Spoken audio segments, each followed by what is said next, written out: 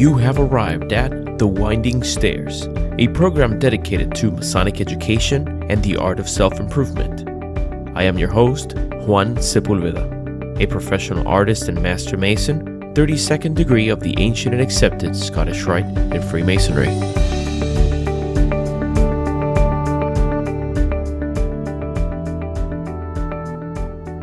Hello and welcome once again to another episode of The Winding Stairs.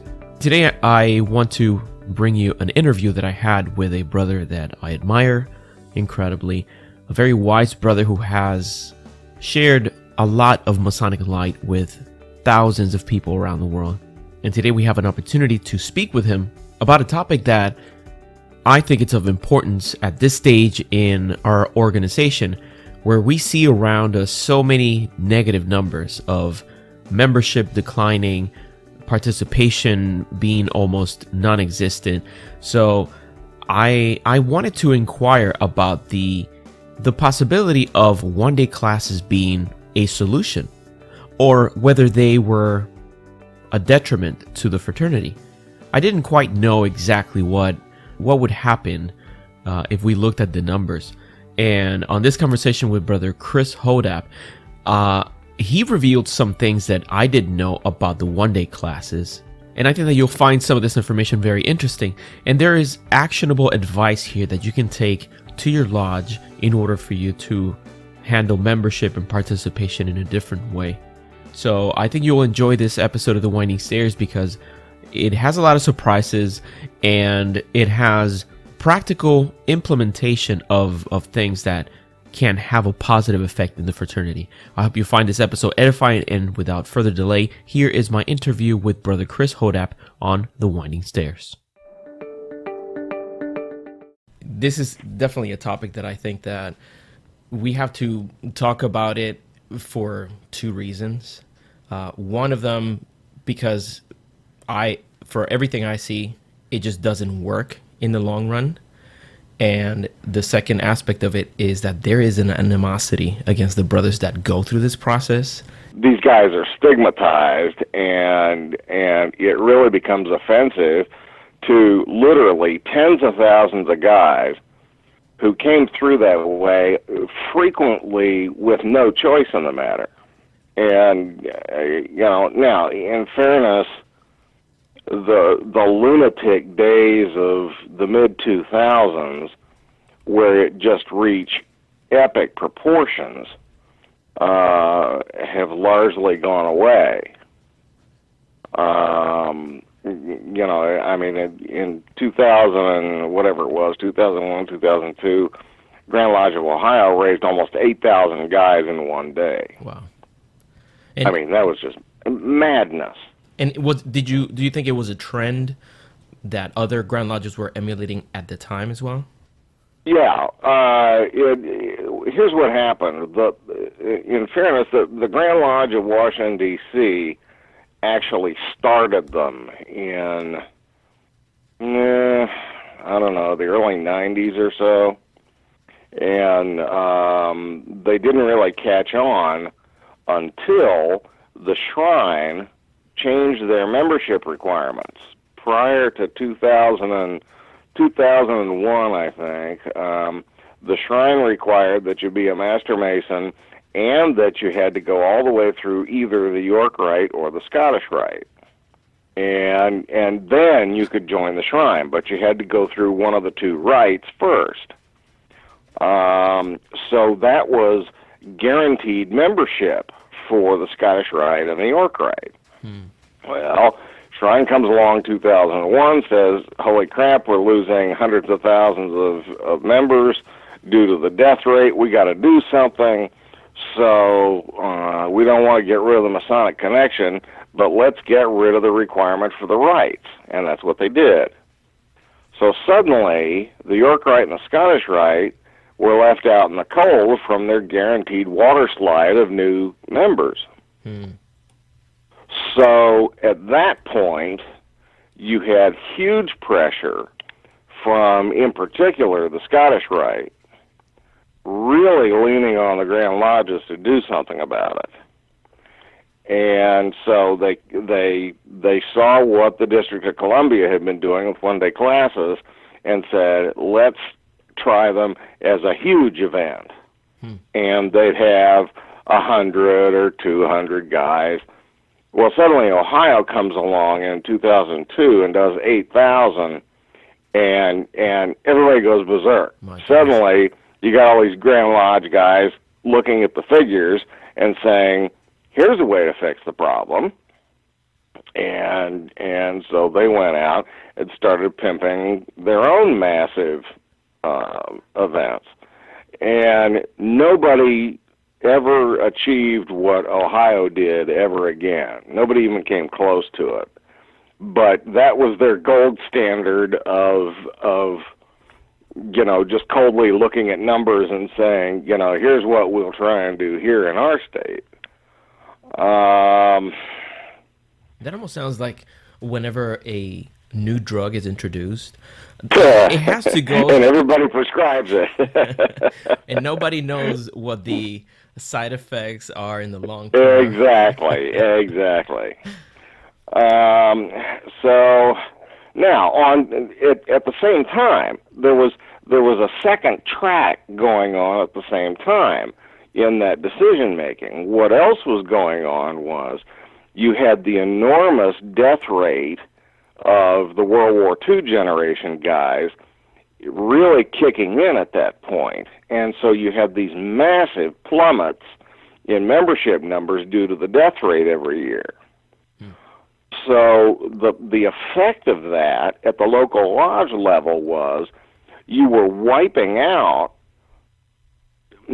tons of older members who were the guys that were doing the ritual work.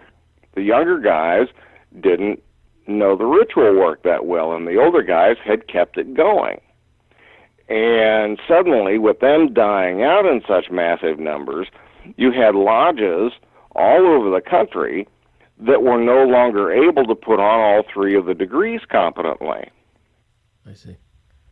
Um, so, so Grand Lodges were in a situation of of looking at enrollment figures and saying, look, we have all these hundreds of guys that come in, get their EA degree, and then the lodge can't manage to to find guys to put on the fellow crafter master mason. Wow. So here's a way to solve that. You do a one day class, then the lodge doesn't have to do the rest of the degree work. We'll get the best guys in the state to put on the degrees for these big presentations, and that'll solve the problem and so it was a it was a it was a two way tree of thinking that was going on at the time. And and so they kind of fed off of each other the shrine business and this lack of competent ritual guys. Um so the now when you study this stuff and grand lodges have studied it for over 30 years, ever since DC started doing them. What they discover is the participation rate and the retention rate between guys who come through their degrees traditionally versus a one day class situation, the participation rate and retention rate are exactly the same. Wow. It makes no difference. If if you know, if a lodge only retains after five years, if a lodge only retains 25% of its new members, then that's the rate. It doesn't matter whether they came through in a one day or whether they came through traditionally. It makes absolutely no difference to the bottom line. Interesting. So you'll have people that have been trying to peg the kind of membership to one day classes, but when you look at the numbers, it doesn't support it. So there's well, a, yeah, there's yeah, a variable basically. missing, of course, that has to be more um, has a, a, a, sure impact on on the decline of membership and the lack of retention and participation. Uh, what would you say part of that?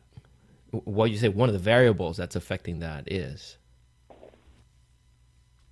Uh, I, am not sure I understand what you're asking. Um, so if if one day classes is not the culprit of lack of participation. And, oh, wow. Well, am I being recorded here? oh. well, if there's anything you want off the record, I would because, you to let me know. Because, because the real answer is uh, shitty lodge experiences. Yeah. You know, it, it comes down to I, I I say this over and over again everywhere I go. No Grand Lodge ever anywhere on the face of the earth forced a lodge to have bad ritual work, lousy food, uh, no Masonic education, political infighting. You know, no Grand Lodge forces anybody to do that. Exactly. There aren't any rules that make that crap happen. Mm-hmm. You know, that comes down to how good or how bad the local lodge is. And Grand Lodges can pass all the rules they like and come up with all the programs they like. Nothing's going to fix that at the statewide level. That, that makes it really sense. it really comes down to how good a job the local lodge is doing. Well, there is a lot of work to do, and and clearly, I personally I went through the experience that before joining masonry, I had an expectation of what I would see behind closed doors, of what the experience would be like. And, and granted, I had an amazing um, initiatic experience. We had very, uh, very able uh, brothers that they they were very good at what they did, and they left an uh-huh. impression in my mind. The follow through was the problem. The, right. And unfortunately, there's hundreds of thousands of brothers out there who might be having a good experience in the initiation process, but then are faced with the nuts and bolts of what a, a meeting is like. Well, exactly. The the most important meeting in a Mason's entire life is the fourth one that he goes to. Wow. It's it's the the first stated meeting that he goes to after receiving his three degrees. It's at that meeting that he'll judge his lodge and the whole fraternity by when he sees what goes on at that fourth meeting. That's a powerful now, thought. Now, you know, other other meetings can affect that, other experiences can affect that. He can change his mind, but I'm telling you, that's when it's it's first planted in his brain what the hell did I just join? Mm-hmm. Because that's the meeting that shows him what he just joined. And and if the meeting is all about if the meeting is all about why didn't Charlie fix the toilet last month, mm-hmm. uh, he might come back, he might come back two or three months, but it won't last. Yeah.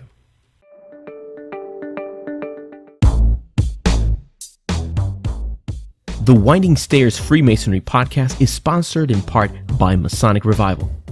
I have seen many Masonic ties in the market, but the tie selection from Masonic Revival is among the best out there. I am sure you have seen some poorly designed ties with poor construction and materials. Not these ties.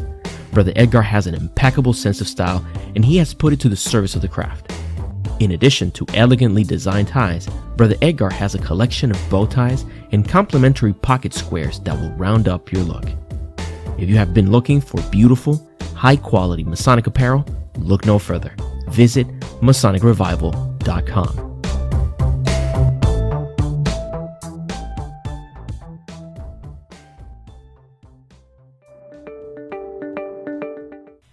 I, I, I wish that the brothers that listen to to our conversation they they're able to see this for what it's for what it's worth and not see it as an external problem. This is something that we all have to individually contribute to changing. Exactly. And exactly. It is a lot of work, but if we all do a little bit in pushing this experience in that direction, we'll have much more effect than the effect expected from any other initiative. Right. You know, it's interesting. I read a, a these things pop up occasionally, and I read a blog post by some guy a couple of weeks ago why I left Freemasonry or some such similarly titled thing. Mm-hmm. And and you know, one of the things he was complaining about was, well, nobody ever wants to have any kind of Masonic education. Nobody ever wants to talk about symbolism. And the first question that comes into my mind is, okay, so did you go to the master of that lodge and say at the next meeting I'd like to give a presentation on symbolism and have a discussion among the brothers about I'll I'll, I'll pick one symbol and we'll discuss it for 10 minutes? Did you do that? Because if you didn't, you're part of the problem. That's true. Because in most cases, I, I've I've never personally come across a master that said, "No, nobody's interested in that crap. Take that somewhere else." I've never I've never come across that. Yeah, neither have I. Now, now, now, in fairness, maybe somebody has, but I haven't. Yeah. And that master will be there for just one year. Exactly. So just wait a year and hopefully things get better. But it, exactly. and I remember when I when I joined and I started noticing the lack of education, I reached out to a to a brother. He wasn't a master yet, and his response was, "You are on the level, and by by that reason, you are you can reach out to your worshipful master and tell him what you're not getting out of our our Masonic experience." So he he told me, "Hold your master accountable." So Yes, absolutely. Hold your master accountable. But the flip side of that is be prepared for that master to turn around and make you a committee of one to solve the problem. nice. So He's got a lot of crap. He's got a lot of crap on his plate. yeah, of course. you know, and and and he's dealing with everything from you know Harry lost the gas bill last month to you know a, a, a father and son are in an argument and they're both members of the lodge and you know one of them punched the other one and now one of them wants to bring charges against him. You know he's dealing with that crap. Mhm. So so you can't count on the master to also say, "Oh, okay, I'll start an education program. I'll get right on that." So what would You you know- suggest to the brother that is not having that experience? He would you say that he needs to take initiative or get together with other brothers and bring a solution to the table if he's going to be complaining? Yes, absolutely. Absolutely.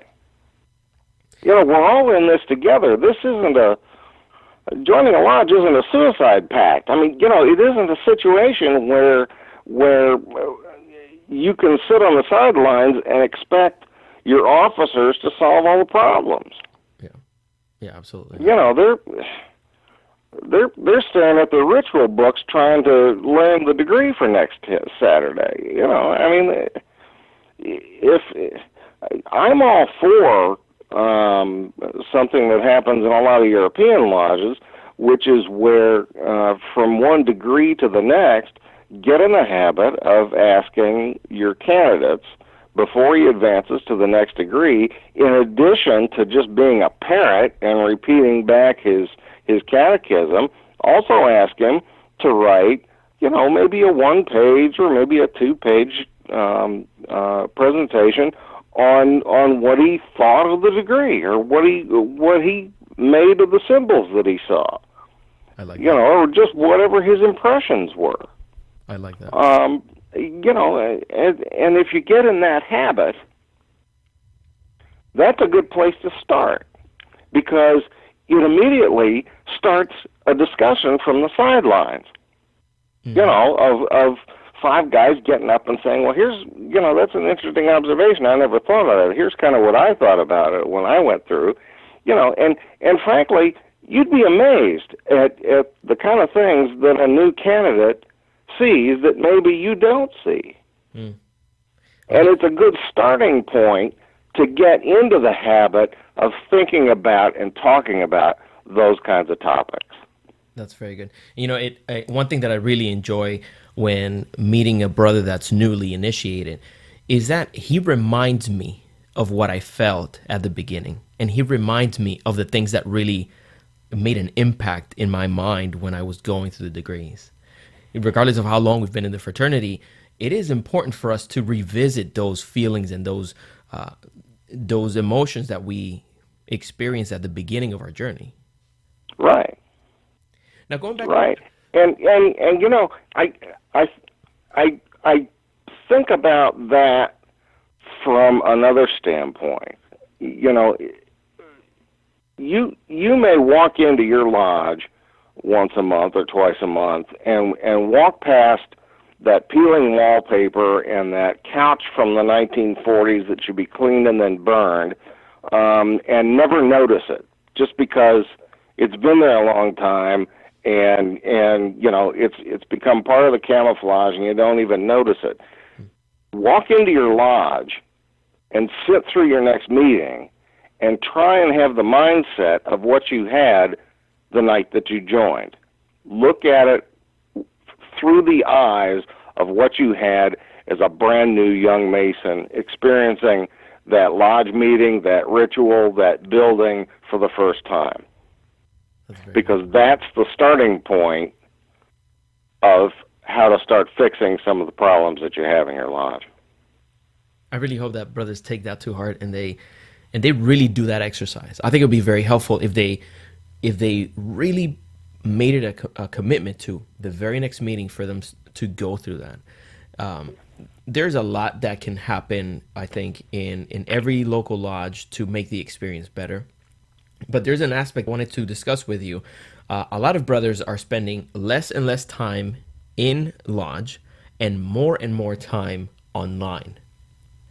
And one of the top one of the things I wanted to to ask you about regarding the one day classes is the seeming animosity that seems to be permeating the internet in regards to the one day classes. Yeah. Uh, yes, we know that the results of the one day classes are not are not great.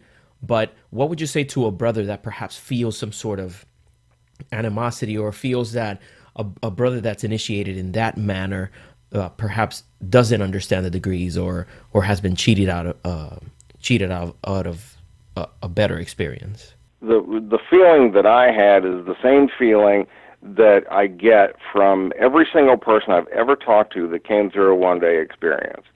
And namely, that is I I I felt cheated by the experience. I never want to see that done to another candidate again. And let's make sure at our lodge we never send another guy through one. Hmm. Everybody that goes through it says pretty much the same thing. And and and the truth is, one day classes are kind of an old topic because they they're not popular anymore. They, you know, the the days of, of bringing eight thousand guys in in one day are long gone. That was that was a dozen years ago, and and now they've been pretty much reduced to little events of of maybe twenty or thirty guys once a year as some highly vaunted Grand Masters class. Um, and, but but they're they're really just not that common anymore because of that situation, because of the guys that came through them who said, "Let's never do that again." So, so they're kind of self-defeating in that respect. Guys that get animosity from from other Masons who came through traditionally, I, I, sort of all you can do is arm them with um, telling that that complainer that you know what we don't have two classes of masons in this fraternity. Agreed. Nobody's dues card said this poor guy is a McMason, which is a term that that I absolutely despise hearing. As I said before, in most cases, the guys who went through that way, they didn't get asked. They were just told, "Be there Saturday." and and so it's it's not generally even it wasn't even up to them to do that. Blame the lodge. Don't blame the guy. Mm-hmm. But even better, what should they do to help those brothers? Because uh, we have when they use that term McMason, and, and I've heard it before, and I've seen some memes made out there about them. Uh, I can I can sense that it's almost like they're pointing a finger at, okay, well, you don't deserve the, the mysteries of masonry because, you know, you went through this little thing. That's a very negative way of handling that experience. Uh, in the polar opposite, it would be perhaps offering some sort of advice on how to make up for the Uh, part of it is taking part, learning a ritual part, basically prove that you can do the work, and and and you know prove that that you are every bit as as eager and excited and willing to take part in the lodge as he did, and probably more. Um, you know, unfortunately, I, you can't you can't change human nature. Yeah. And and if if a guy walks in with with that prejudice in his head against somebody who came through that way, um, you're not going to change his mind unless you become a terrific master or you become a terrific ritualist. Um, but if you're just a sideliner that that shows up three months out of the year and then finally walks away, um, that's only going to reinforce it in in the heads of of the detractors that that yeah, you know, these guys are a waste of our time. That's very good. Um, and and that's unfortunate. I, you know that onus that onus isn't on a guy who came through traditionally, but it is against the one day class guys through no fault of their own. Mm-hmm. You know, um, Prince Hall was a one day Mason. Oh, I didn't know. You know, and and and and before the introduction of the Master Mason degree, the the entered apprentice and fellow craft were generally conferred on the same night. You know, I mean, this isn't this isn't a new situation. It's just things changed, and and then they changed again. Yeah. So, you know, it, it's just it helps to be armed with with the facts behind it. Mm-hmm. Just because you you might be faced with that argument, but but the best way to do it is just simply fight back by by being better than them. Mm-hmm. And sometimes people forget, uh, which this is something that, of course, I didn't know before joining, that you receive your degree and then you prove your proficiency. So Mm-hmm. the day after the initiation of a of an entered apprentice, the it's going to be the same for the day after the one day class uh, participant. They receive Right. these degrees for which they have no uh, real life application yet.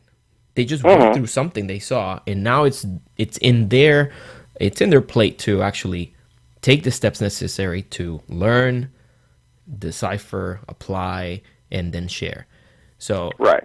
everybody is in the on the same boat. The only difference is that okay, they got three degrees in one day. You got just one. Now, Right. The next step is for you to put this stuff to practice. Right. Now we're running. Uh, we're reaching the end of our time. I wanted to ask you a couple of things about the similarities with the one-day class and the festivals in the higher degrees of masonry. Uh, I went through a two-day festival for my Scottish Rite and Right. a three-day for my York Rite. So it, I had the experience. It felt like I was drinking out of a, a, a fire hose, how they say. Oh yeah. Oh yeah.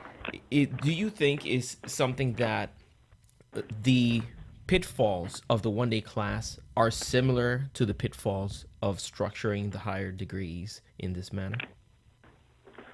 Well, I think that's certainly where the idea came from. I, I think that was that was when they when they first started doing them. That was their justification. Well, the Scottish Rite does it this way, and they always have. Um, you know, as as opposed to Europe, where it takes years to go through uh, the Scottish Rite or the rectified Rite, and and uh, frequently you won't find 32nd degree Masons in Europe. Um, you know, I, I mean, a lot of guys stop at like the 18th degree, and uh, you know, it's um, it's just a different mindset here. Um, and and particularly, are are you in the southern jurisdiction or the northern? In the southern. Yeah, the southern jurisdiction. Yeah, you talk about drinking out of a fire hose. Uh, the the information that is just thrown at you in the course of a couple of days is is just absolutely overwhelming. Mm-hmm. Yeah. Um, an, an interesting fact: the only time in my life that I have had caffeine pills was during my Scottish Rite uh, festival. Yeah, yeah, um, yeah, and it's and that's that's not going to change. Uh, the the in particular the Scottish Rite. I, now I, I was lucky. I went through uh, my York Rite degrees very slowly. Um, I uh, my my uh, um, uh, my chapter degrees were were spread out over two months, and I mean it took me almost a year to get through my York Rite degrees. So so I was pretty lucky in that respect. Um, but yeah, the Scottish Rite just throws it at you, and and particularly in the southern jurisdiction, uh, with all the symbolism that that Pike heaped on the degrees, it's just mind numbing at that point. Mm-hmm. Absolutely, and and and brother, if as as we say goodbye, I wanted to ask you if you have if we have a brother that is young to masonry and is listening to to our conversation, if you have one piece of advice on how he could utilize this information to become the best version possible of himself, what would that be? I put it this way. I freely admit to anybody that I talk to, I say it at every talk that I ever give, and I'll tell anybody that asks me. I consider myself to be truly the luckiest guy in all of the history of the fraternity, just because of what happened to me. A one day class guy winds up becoming a 33rd degree Scottish Rite Mason and and the author of a book that becomes hugely popular worldwide is proof that if you don't think that one guy can't do anything to change this fraternity and make a difference, I'm here to tell you one guy can. One single Mason can accomplish an awful lot if he's really and truly dedicated to doing it. Yes, you heard it right. Brother Chris Hodapp, the author of Freemasons for Dummies, a 33rd degree Mason, that brother to whom we look for for inspiration and for Masonic light is a one day conferral member. See, the fact that he was brought up to light as a one day participant didn't change the fact that if he had the zeal, the dedication, the desire to improve himself in Masonry, he was able to make a great difference in his life and in the life of everyone who surrounds him. So I hope you enjoyed this episode and you find this conversation edifying. I certainly did. If you have any questions or comments about today's conversation, I invite you to participate in the conversations that happen on the Winding Stairs Freemasonry group on Facebook, as well as the Winding Stairs page. I once again want to thank Brother Hodapp for being so generous with his time and with his light, and for spending a little bit of time with us to help us become better men and Masons. A special thanks goes out to Billy Mays III of Infinite Third for providing some of the music that you've heard today on this episode. You can check out his entire collection by going to infinitethird.com. I will include links to his and all the other websites on the show notes. A special thanks to Brother Edgar from MasonicRevival.com for being generous and being a sponsor of this show, helping it continue uh, moving forward and publishing more episodes. To see his tie collection, go to MasonicRevival.com. If you enjoyed The Winding Stairs, there are many ways in which you can support it. The easiest one is for you to share this audio with your friends and brothers through social media. You can also discuss the conversations that we have here on your own blog or website. Another way that you can support this program is by going to freemasonryart.com and looking at the collection of art, Masonic regalia, and apparel that I've put together for you. Lately, I've been working on creating some designs for t shirts, the kind of t shirts that I would like to own, and I think that you'll enjoy some of those. I even started a program where if your lodge wants to have a custom made shirt that has the lodge name and number on it, I can do that for you for free. Just go to thewindingstairs.com forward slash my lodge shirt for more information. And until next time, may your steps be firm and your path illuminated as we continue our journey up the winding stairs.